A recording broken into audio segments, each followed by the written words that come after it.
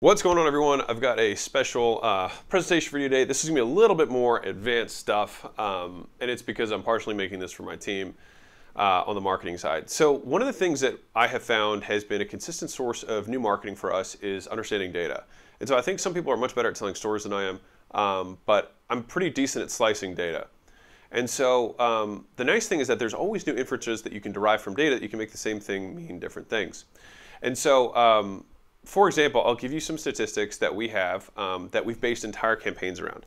So uh, one campaign that was our most successful campaign that we've ever run was a one year later campaign. And so what that was was we took all of our clients that had been with us for over a year and measured all of their stats and measured their stats from before they were with us until now a year later and showed the difference, right? And the, the differences were crazy, you know, 250,000, 500,000 a year, a million dollars a year extra, like there were just massive differences.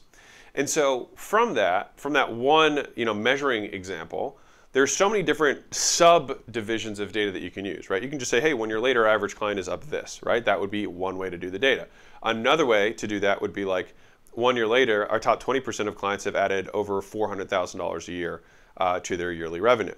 Another one would be uh, the bottom, you know, 80% are at this, right? Um, and so there's there's all these, or like one in, here's another way of doing it, one in five gyms uh, who's been with us over a year is at is over Z, right? And so there's different variables that you can play with, right? One is the percentage of people, right? The next is the goal, and then the next is the duration piece. So you have these kind of three wheels that you can spin together uh, to make really interesting statistics, and you can and you can you can base so many campaigns around it. Like another campaign that we have that's launching soon is um, we just we just we just measured one in 5.5 gyms uh, is over uh, a million dollar a year run rate for us, right? And so all these, you know, so for me, it's easy because like, you know, other people are like seven figure gym, blah, blah, blah. And so for me, I'm like, well, they're talking about it, we're doing it, right? And so I can always position myself because mo most people don't even capture their own data anyway, so they don't even know. And it's usually because it's not good, right? They already know they don't have any million dollar gyms, so they don't need to go measure that, right? We do know. And so one in 5.5, so that's 18%. Now, if you're thinking about from marketing perspective, would you think 18% of gyms that we work with are seven figure gyms? Maybe I don't think that sounds as compelling as one in 5.5. Like really, one in five? Like that's not that bad, right? And the thing is, is you can also invert that and say, all right, but 4.5 out of 5.5 gyms hit this, right? So it's like I can play on the on the on the, the the desire that people have to win the lottery, survivorship bias, like that people think they're going to be the one, right? But I can also play on the inverse, which is something that I like doing a lot, which is I love playing on averages, I love playing on medians um, with data because it's like, hey, this is just what the normal person does, right? Like, and here's what's cool: you can always say after you say an average, that also means half of people are above this. People are like, wow, well, I consider myself above average, so I'm going to be above that because everyone thinks they're above average, right? And so when you're clumping data together, you can use those three wheels, right? Wheel one is over what duration. Wheel two is what is the um, what is the outcome um, and then I literally can't even remember what the, oh, and then the percentage of clients that, that achieve that, right? So it's percentage of clients, the outcome, and then the time duration. And so you have these wheels that you can mix and match. And even when you say percentage of clients, you can say percentage of clients. You can say the top percentage, the bottom percentage, the median, the average, right? Um, and you can also say one in, right? So there's different different ways. You can also say the fractional version, like one fifth of, right? So all of these, are, that's just like, that was just on the one wheel of, um, what percentage of clients, right? What percentage, one fifth, one in, however many, the fractional amount, the top percentage, the bottom percentage, so you can invert either one of those. So one in, five, or four out of five, right? That would be the inversion of the same stat. And so when I'm using all of that, like this is what I'm running through, and this is what I've had a really hard time teaching my team, which is why I'm making this right now. Um, is that like this is what I'm running through when I'm thinking when I'm looking at like the the data they get back from customer support or uh, excuse me customer success is like this they're like here's here's all of the gyms that we have. I'm like okay how can we say this differently? How can we say this in a compelling way and make it a hook for our marketing right? Um, and so that was that was all the examples i had for uh, percentage of clients right? Now if we're talking uh, time duration right? So with time duration I might, I'm going to be thinking uh, super long, long, long time away. And here's what's cool about when you use long, longer durations away. If someone's been with you for a year, the likelihood that they've succeeded is very high, especially in an education-based business. So I, I, love pulling out the one year, or two year later pieces because one, it shows that people stay with me for a long time, which means that I continually provide value, right? So that's social proof of continued value creation, which I like a lot. So boom, when you have the long-term duration, it's great. And that's an advantage, especially if you're an older player in the space. Having those one year, two year later testimonials is something that no one else can show, that you can show to also demonstrate your long-standingness in the, in the space, right? But on top of that, somebody who's been with you for that long is going to usually have a very good outcome. And so if I just say, hey, the people who've been with me for over a year average this, that it's like, wow, that's crazy, right? And so the data will, will, will give a very positive um, impression of what you're marketing, right? Flip side um, is that you can cut it at different different times, right? You can look at first week, you can look at first 30 days, you can look at first two months, right? And so the thing is, is if you have this data on a regular basis, uh, you can you can timestamp this stuff and really you can slice it and find the, the slice that you're like, oh, this is really good. Like for us, like our, our average gym in the first, uh, I think it's first 15 days, not 15 days, excuse me, first two weeks does 15,500, all right, uh, in, in additional revenue. That's the average, which means half people get better than that right? Crazy. And so, um, and I, I give you the other stat earlier. One in 5.5 gyms is a million dollar gym, right? And so um, um, I can play with these, you know, with these numbers because I could have said 18%, or I could have said with the percent, the the 15,500, I could say that's a what's the outcome, right? The outcome wheel could be what's the increase, right? If it what's the increase, it might be like the average person, you know, doubles what they do in revenue in the first 14 days. That's a different way of saying it, right? Um, I don't know what I don't know what the actual number is because I don't I don't have that one offhand. But like that would be something that I'd be that, that's something I would ask my team. I'd be like, hey, figure out what the fraction is here. Is it a doubling? Is it a 1.5x? Is it a 30% increase? Well, 30% increase doesn't sound as good as 15,500, right? So I'm going to say that one instead. And so when we're talking about increases, there's four ways you can show it. One is a, a percent increase, which is this went up by X percent, right? The next is an absolute increase, which is additional 15,500, right? Um, the next would be uh, the actual total number made, which would be their revenue plus the increase, boom, right? Uh, which would, would be different but similar, right?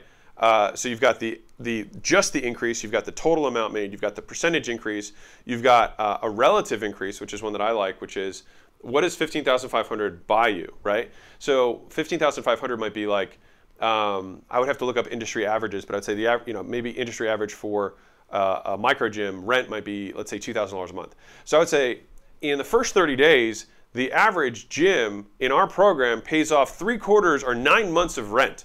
Wow, that sounds kind of interesting, right? Like that's that's compelling, that's unique, right?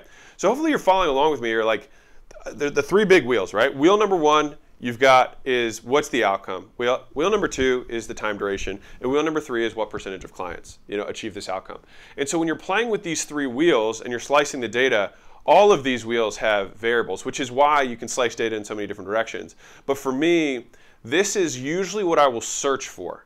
Like this is what I will hunt for. I will look for the piece of data that tells the story that that that the copy can't tell, or it can reinforce the story that the copy tells and makes it far more compelling, right? Now, mind you, you have to be absolutely compliant when you use numbers, right? Which is one of the things I also like doing it because we track our stuff, and most of our, you know, most people in our space don't because they're, you know, still figuring out how to, you know, market and figure out their business. But the, the thing is, is most people don't track this stuff, and so I have a huge competitive advantage because I've been tracking this stuff for years, right? And on top of that, we have we have pretty decent um, metrics around this stuff, especially around client success. And so with that, I can hunt and say, okay, let's look at uh, new clients. You know, first first eight weeks, right? What's how much? What's the increase in revenue? Okay. And the thing is, is everything I just talked about was one stat, right? I just talked about revenue. I could use those same three wheels with time, uh, the customer uh, outcome, and then what percentage of them achieved it. I could use those same, same three wheels with any of the stats. I could use it with profit. I could use it with revenue. I could use it with churn. I could use it with, um, uh, I could even use it with growth percentage, right? I could use it with like there's there's so many different ways I can I can use those three wheels in my marketing. But usually this will be the central core concept that I will make an entire campaign around, right? Because at the end of the day, there's only so many ways for me to say we make gyms more money.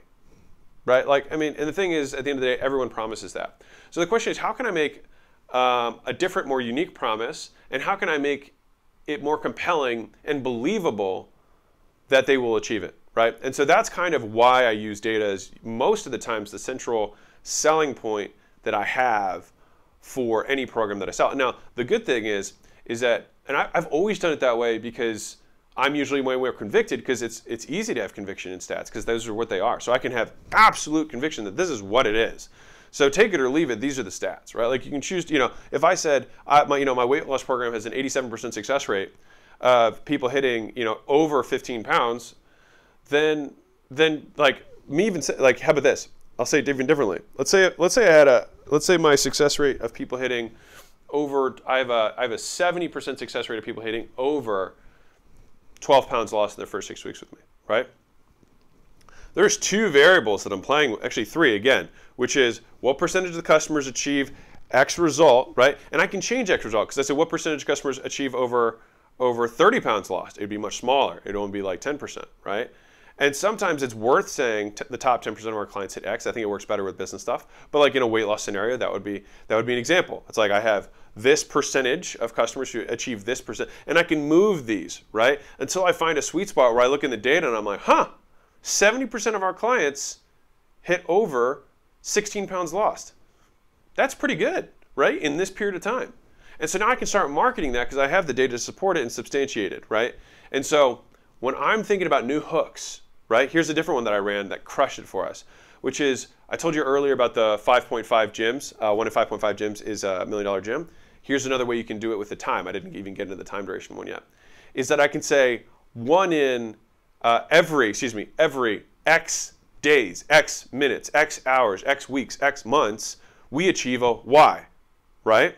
And so I found out because I looked at our stats, and I think the, the last year we had done, gosh, I don't know, it was like I, honestly can't remember the number, but I do remember the outcome. It was, um, I think we had created like 50 something uh, seven figure gyms in 2019 or 2020, something like that. Anyways, point is, is we had created that many. And I was like, well, there's 52 weeks in a year. That means that one in every 7.7 days, we create another seven figure gym. So that means every, basically every week we're cranking out another seven figure gym. So it takes the idea of like, this is how many of these outcomes we've had, right? So again, in that weight loss example, I could say, how many people have we had lose, you know, 20 pounds, right, over, you know, over the last year? And they might say, you know, we've had shit, we've had, we've had 200 people hit that. I'd be like, cool. So we can say every two days, another person crosses 20 pounds lost at my facility.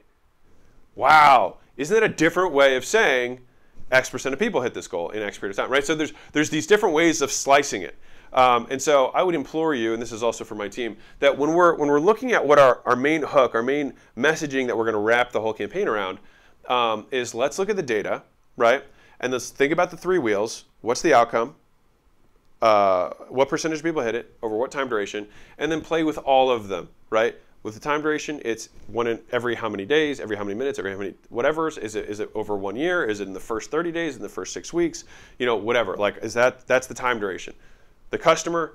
Uh, I already said all the million ways of, of slicing the, the outcome um, and the percentage, right? And so hopefully that makes sense for you. Hope you found that valuable. Um, that probably give you unlimited ways of slicing your own data, but I'm telling you it's one of the most compelling things in the world because it's just true. So I'll leave you with that. Keep being awesome. That was a, a huge marketing hack that has made me a tremendous amount of money. So use it and uh, be fruitful. Bye.